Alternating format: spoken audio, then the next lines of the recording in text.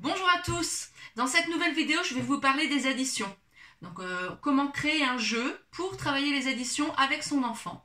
Merci Ilem pour l'idée.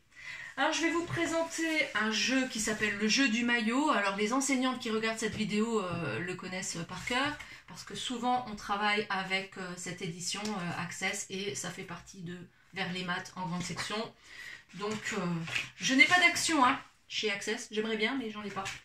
Donc il nous présente un jeu des maillots qui est ultra connu et décliné dans plein de, versions différentes. Là il suffit de taper jeu du maillot maternel sur un moteur de recherche et on en trouve euh, plein d'exemples. Et du coup vous pourrez par exemple télécharger et imprimer une bande de maillots déjà toute faite. Moi euh, j'ai pas fait ça. Parce que voilà, je pense toujours à ceux qui n'ont pas d'imprimante. J'ai simplement pris un morceau de, carton hein, que j'ai recyclé, un calendrier, un autre morceau de carton et je me suis fait un petit gabarit de maillot que j'ai reporté sur mon carton.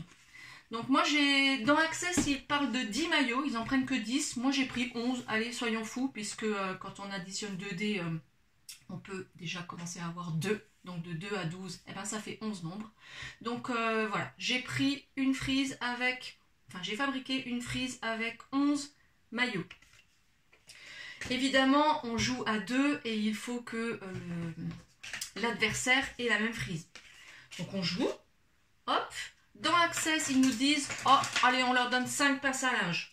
Si on veut. Moi, euh, je joue avec ce jeu en grande section euh, dans ma classe, en grande section fin d'année, et chez moi, on remplit tout. Soyons fous. Donc, là, on va faire comme, dans le livre, avec 5 pinces à linge et 3 dés. C'est important d'avoir les 3D, je vais vous expliquer après. Donc, euh, le but du jeu, je lance 3D. puisqu'on les voit, j'ai eu 6, 1, 4. Alors, j'en choisis deux. Allez, par exemple ça. Donc, votre enfant, soit euh, il est capable de faire déjà le calcul, il va venir 6 plus 4, même s'il compte sur les doigts, il va s'en sortir. Il peut faire du surcomptage. Donc, celui-là, il connaît, il sait que c'est 6, parce qu'il a déjà joué plein de fois à des jeux euh, qui nécessitent des dés. Donc, 6, et il surcompte 7, 8, 9, 10. Donc il sait que ça fait 10. Ou alors vraiment, euh, c'est encore le tout début et il a besoin de tout recompter. Eh ben, on le laisse faire. 1, 2, 3, 4, 5, 6, 7, 8, 9, 10. D'accord Donc les deux là, ça fait 10. 6 et 4, ça fait 10.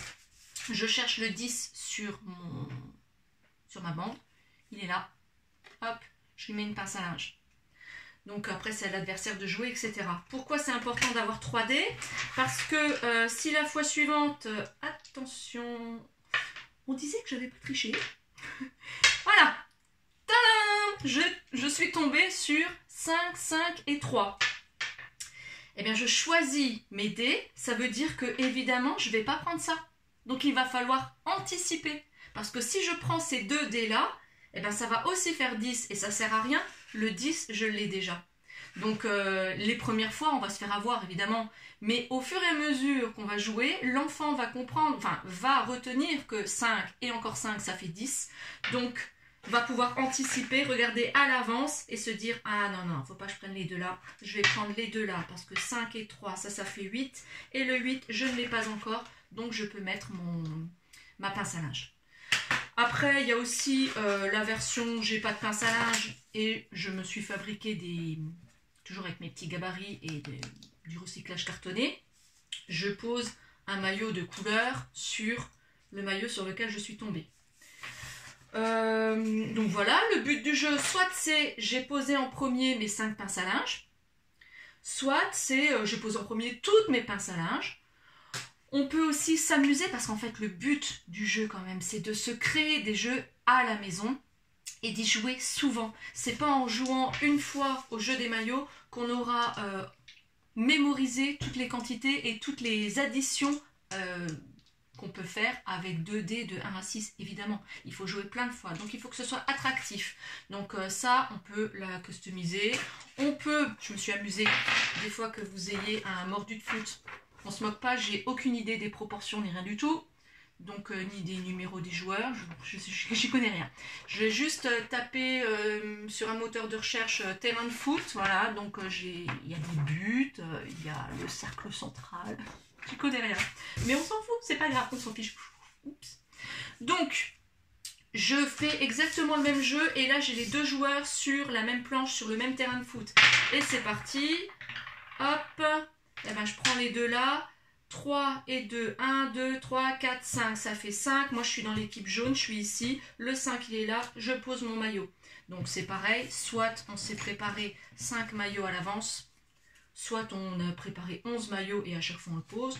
Le copain va faire pareil, il va tirer, lui va dire je prends ça, allez le 5 et le 4 ça fait 9. Au début c'est facile hein, parce que quoi qu'on tire, on a un maillot. Mais après, au fur et à mesure, c'est pas forcément évident parce que les maillots se remplissent dangereusement. Hop, hop. Allez, par exemple, là j'en ai déjà 4. Et là, il va vraiment falloir réfléchir pour se dire à l'avance. Donc si je prends ça, 6, 2, ça fait 8. Ouais, celui-là je peux. Le 6 et le 9 je peux aussi. Bon, bah j'ai de la chance, il y a juste le 5 là que je peux pas. Donc euh, au fur et à mesure du jeu, ça devient compliqué et des fois on ne peut pas poser de maillot. C'est pour ça que l'adversaire peut, lui, peut-être en poser et euh, gagner. Donc, on a ça. Si maintenant vous me dites, oui, mais moi, mon enfant, le foot, euh, pas du tout, eh ben c'est pas grave, on fait autre chose. C'est ça l'intérêt avec les jeux, c'est qu'on peut les faire complètement à sa sauce un magnifique parterre de fleurs de toute beauté. Bien sûr, chaque adversaire en a un. C'est pareil, on lance ses 3D. Et euh, allez, je prends les deux là. 4 et encore un, ça fait 5. Et là, je pose un bouchon qui fera le cœur de ma fleur 5. Et ainsi de suite. Donc, euh, pareil, on essaye de remplir en premier son, son parterre de fleurs. Donc, je vous dis, l'intérêt de... Tout ça, c'est des prétextes les maillots avec les, les euh, ou alors je te mets des maillots dessus, ou des bouchons, on s'en fiche. Vous créez vraiment votre jeu. Le but, c'est que sur une feuille, il y ait euh, ben, les 11 euh, nombres qui vont de 2 à 12.